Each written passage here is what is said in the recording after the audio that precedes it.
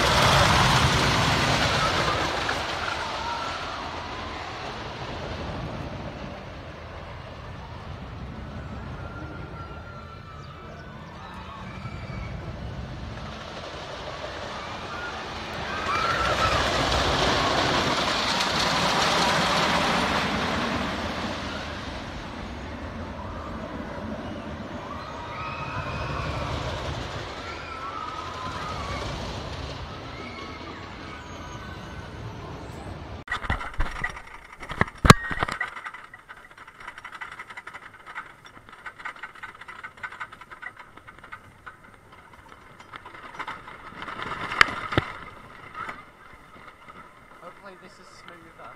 Oh!